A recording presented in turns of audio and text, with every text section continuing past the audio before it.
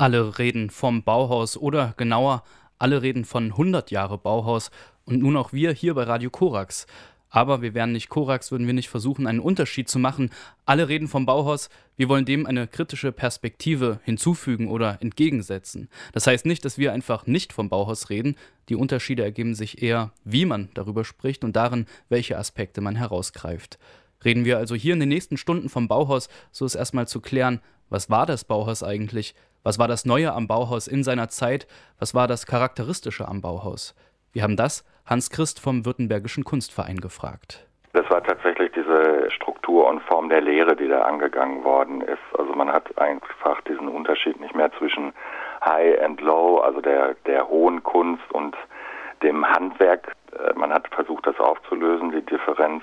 Man hat die Lehre eben in der Grundlehre tatsächlich an den handwerklichen Kenntnissen, das zeigte sich auch in den unterschiedlichen Werkstätten, die etabliert wurden, angesetzt. Und man sah sich auch im Geiste eines, eines neuen Menschenbildes des Industriezeitalters, wenn man so weit gehen will, wo tatsächlich versucht wurde, die neuen Werkstoffe, die jetzt aufkamen, in Verbindung zu bringen mit einem neuen ganzheitlichen Menschenbild, was sich andockt an dieses Industriezeitalter.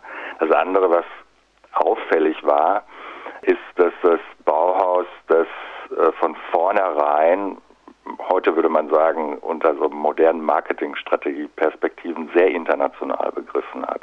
Also die ganzen Bauhausbücher und Kataloge, die waren von Anfang an auf Russisch, also in die beiden großen neuen Systeme adressiert in auf Russisch und Englisch auch übersetzt. Es wurden von D-Style, was ja gleichzeitig auch zu betrachten ist, äh, zum Beispiel als Gastlehrende, als Besucher Theo van Duisburg eingeladen oder äh, von der Seite, der russischen Seite äh, mit Aufgreifen des Konstruktivismus äh, Malevich. Die wurden aber auch immer wieder eingeladen, um sich gleichzeitig auch abzugrenzen. Und natürlich war sich das Bauhaus auch dieser Parallelität zu den großen Schulen, zum Beispiel in, in, in Moskau, äh, Wutemas, was ja eine, praktisch zeitgleich gegründet worden ist. Also man hat sich von vornherein einmal als eine neue nationale Form der Schule begriffen, aber sich auch von vornherein sehr international aufgestellt. Es gab im, im Grunde genommen auch eine neue Idee der Hierarchie zwischen den Lehrenden.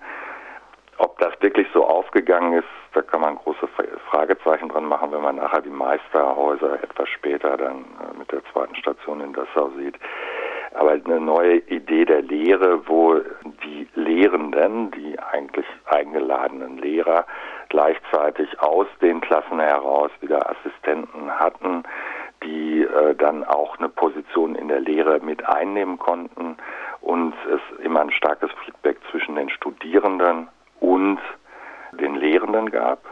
Und das andere, was immer proklamiert wurde, war auch das povere, einfache Material gestalterisch so aufzubereiten, dass es unmittelbar im Alltag nützlich wurde, also funktional wurde.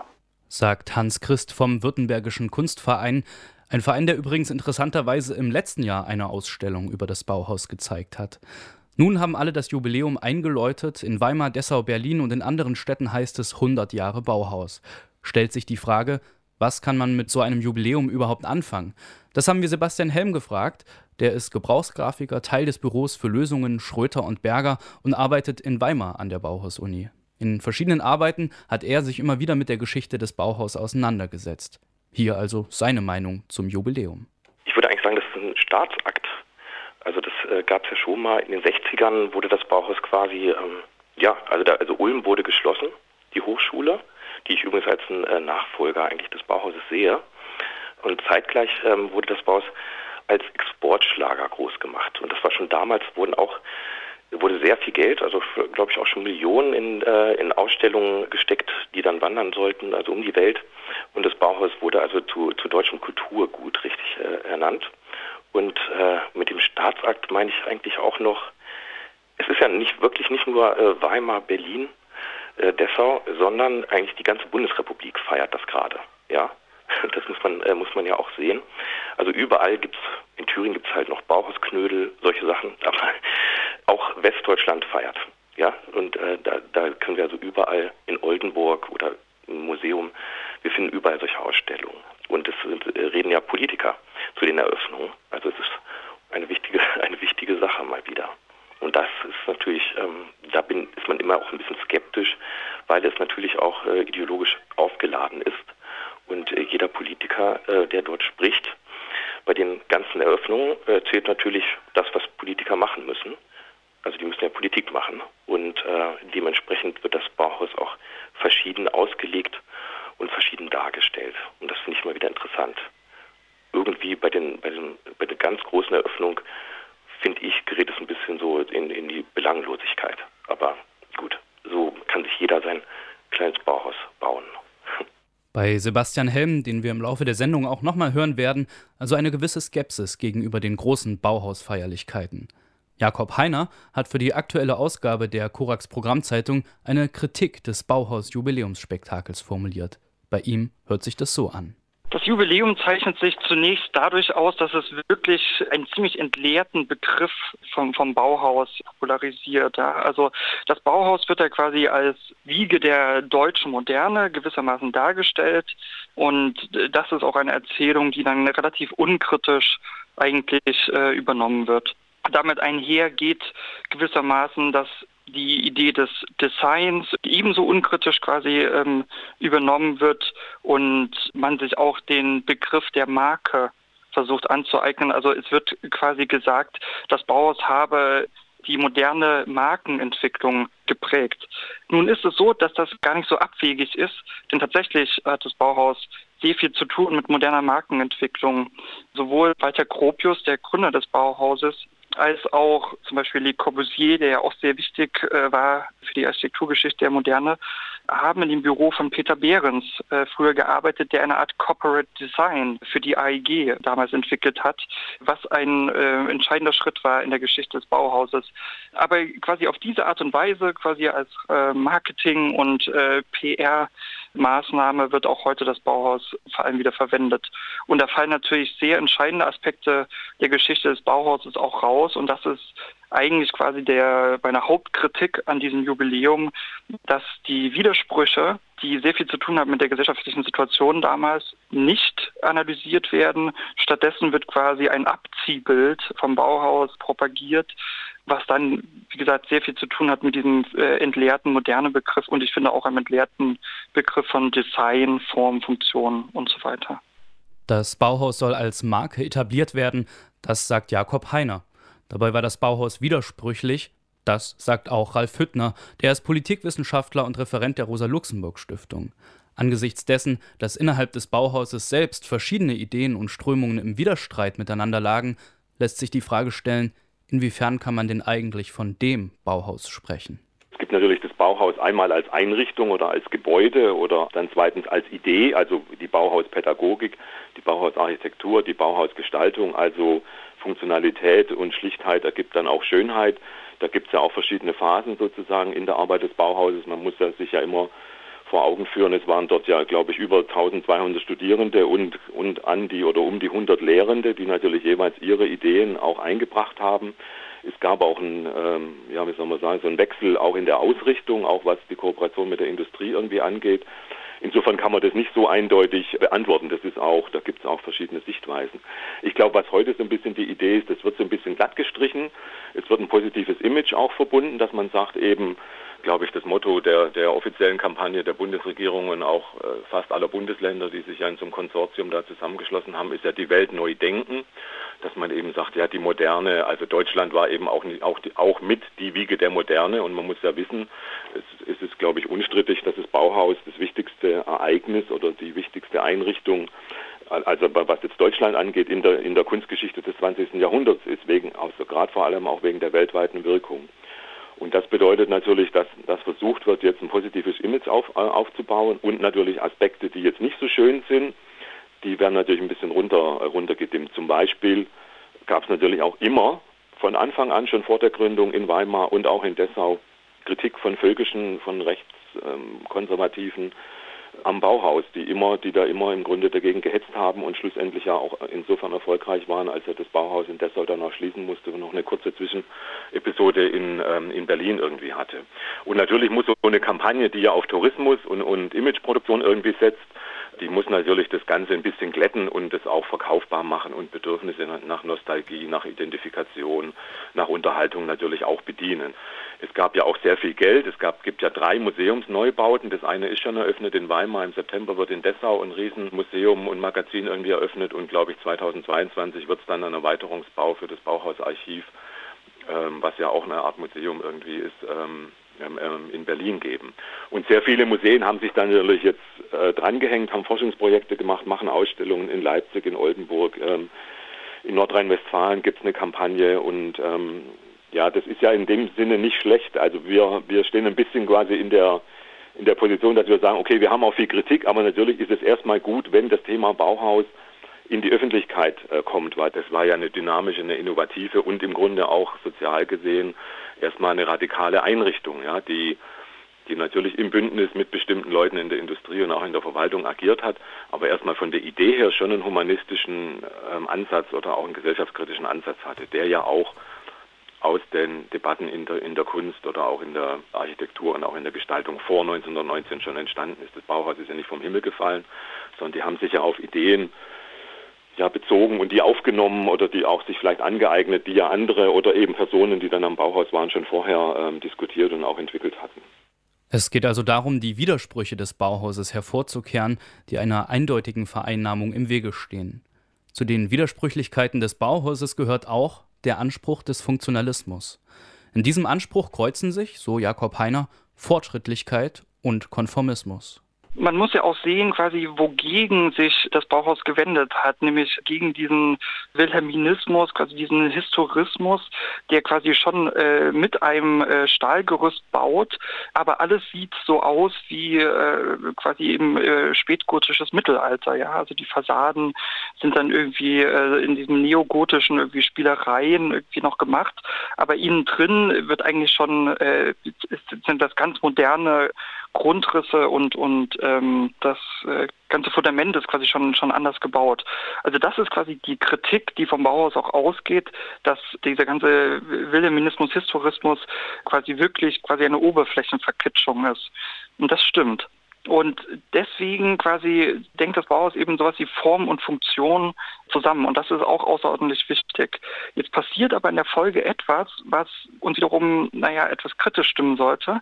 Nämlich, es führt zu einer Verdinglichung des Funktionsbegriffs selbst. Denn die Funktion ist ja nichts Naturgegebenes in der äh, Architektur oder in jedem anderen Fall auch nicht, sondern äh, die, die Funktion von Bauten ergibt sich natürlich überhaupt erst gesellschaftlich.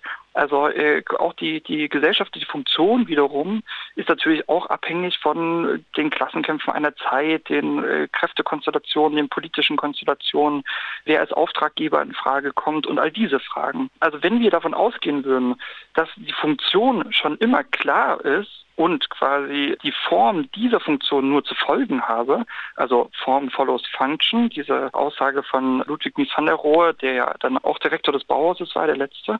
Also wenn wir quasi sagen, quasi die Funktion ist schon immer klar und die Form müsse nur hinterher als Design, dann denke ich, äh, hat man eben gerade nicht wirklich moderne Verständnis, nämlich einer gegenseitigen dialektischen Durchdringung eigentlich von Form und Funktion verstanden. Und ich denke, in diese Falle gerät das Bauhaus tendenziell dass es zu, zu so einer ähm, Verdinglichung des Formbegriffs kommt und damit aber auch ähm, dazu, dass sich eben der Stil, der daraus entstandene Stil, eben auch anpassen kann und zwar auch anpasst, also sowohl ähm, an die Erfordernisse des Kapitals, äh, quasi irgendwie, dass überall so kleine Angestelltenwohnungen gebaut werden und so weiter. Oder aber auch an die Erfordernisse des Faschismus. Das ist genauso möglich. Und darin steckt quasi so ein heteronomes Moment dieser Konzeption des Funktionalismus. Und das sollte man, äh, denke ich, auch im Hinterkopf behalten. Die Moderne ist faschismusfähig. Das ist ein Satz, der im Laufe dieser Sendung noch einmal auftauchen wird. Diese Erkenntnis muss nun nicht unbedingt heißen, den Anspruch des Funktionalismus in Bausch und Bogen zu verwerfen. Vielmehr lässt sich daran entdecken, innerhalb des Bauhauses selbst standen unterschiedliche Konzepte von Funktionalismus im Widerstreit. Das lässt sich insbesondere entdecken, wenn man nach Dessau blickt. Hannes Meyer verfolgte ein anderes Funktionalismuskonzept als Walter Gropius. Und deshalb musste Hannes Meyer am Ende auch gehen. Das ist die These des Architekturtheoretikers Philipp Oswald. Man muss sehen, bei Meyer, das ist sehr interessant, dass er eigentlich zumindest fünf Phasen sehr unterschiedliche Architekturkonzeptionen durchläuft, weil er eigentlich ständig immer den Beruf und die Architektur in Frage stellt, grundsätzlich in Frage stellt und versucht anders zu denken. Die Phase des Bauhauses ist besonders produktiv und insofern auch kein Zufall, dass es jetzt auch zum Weltkulturerbe geworden ist, vor allem Bernau. Er versucht, es ist äh, zum einen eigentlich fast ein, also er hat anders als Gropius hat er nicht in Vorstellung einer äh, Typisierung, Normierung, Industrialisierung top-down. Also bei Gropius und Moholi gibt es eigentlich eine Vorstellung, wir sind eine Elite, künstlerische und technische Elite und eigentlich wie in so einer zentralen Planwirtschaft schaffen wir die optimalen Lösungen und die sind dann irgendwie gesellschaftsweit umzusetzen. Das ist eigentlich das Versprechen, was Gropius liefert und wo man jetzt sagen, böse sagen kann, was dann die DDR mit dem Plattenbau eingelöst hat. Hannes Meyer kommt ja aus der Genossenschaftsbewegung und er hat eigentlich so eine Art, ja, wie ist eigentlich wie in der Kibbutzim-Bewegung in, in, in, in Palästina, ist die Idee eigentlich so bottom-up mit den lokalen Kräften, auch den sozialen Akteuren, Projekte zu entwickeln und äh, auch mit den lokalen Möglichkeiten, was auch ganz eigentlich wie so eine Art proto-ökologisches Bauen ist. Das er sagt zum Beispiel von den Baustoffen her, wenn es Ziegel gibt, lokal, was ja in Deutschland oft der Fall ist mit den Lehmgruben, dann lass uns Ziegel verwenden, wir müssen keinen Beton verwenden. Er fand diese Obsession mit modernen Baumaterialien, Glas, äh, Stahl, Beton, fand er albern. Und hat gesagt, es geht darum, das, was irgendwie angemessen ist, zu nehmen und insofern sind auch die Bauten in Törten und Bernau halt keine klassischen Bauhausstil mit weißen Fassaden. Es sind Ziegelbauten, weil eben der Ziegelpreiswert lokal zu haben war. Und die sind sehr auch im Detail vom Gebrauch durchdacht und funktionieren deswegen heute auch noch sehr, sehr gut. Die ähm, Bauten sind viel mehr vom Bild gedacht, äh, von dem ikonografischen, wie sich das dann auch in den Medien, in Büchern, in Filmen äh, zum Ausdruck bringt, der Gebrauch, ähm, also äh, de facto ist Gropius eigentlich gar kein Funktionalist. Wenn man es hart sagt, ist er ein Reklamearchitekt, da kommt er her und da geht es auch hin, es sind immer Schaubauten. Und bei Meyer geht es nicht um den äußeren Effekt, sondern es geht um den Gebrauchswert. Funktionalismus versus Reklamearchitektur, zugespitzt, dieser Gegensatz wäre zu diskutieren. Unterdessen wird klar, zum Beispiel mit Hannes Meyer lassen sich Seiten des Bauhauses entdecken, die für uns heute immer noch interessant sind. Überhaupt, eine Kritik des Jubiläumsspektakels heißt nicht, dass man nicht selbst auch etwas Bewahrenswertes am Bauhaus zu entdecken hätte. Ich denke, das Bauhaus hat wirklich die Frage gestellt, quasi, wie sich im modernen Bauen, äh, in der äh, modernen Architektur Funktion und Form verhalten. Und diese Frage einmal äh, präzise gestellt zu haben, ist etwas sehr bewahrenswertes meines Erachtens. Aber sie ist das ist ja das, das Problem. Also man kann das ja genau nur bewahren, indem man diese Frage heute stellt und indem man nicht nur einen Aspekt oder ein stilistisches Moment oder äh, oder irgendetwas quasi verdinglicht äh, jetzt quasi 100 Jahrmäßig irgendwie abfeiert. Also das heißt, wenn man das Bauhaus ernst nimmt und quasi daran eben auch äh, etwas erkennt, also wirklich ähm, die, die Formulierung einer Aufgabe, dann denke ich, muss man diese Aufgabe neu formulieren. Also dann muss man fragen, wie es denn mit dem Städtebau heute aussieht, wie sich eigentlich die Aspekte Arbeit, Freizeit, Konsum im modernen Städtebau niederschlagen. Also wirklich die Frage, man muss die Frage ernst nehmen, wie wollen wir leben? Und das ist eine Frage, die das Bauhaus durchaus gestellt hat. Und es ist außerordentlich erstaunlich, wie wenig diese Frage auftaucht innerhalb dieses ganzen Jubiläumsgeschehens.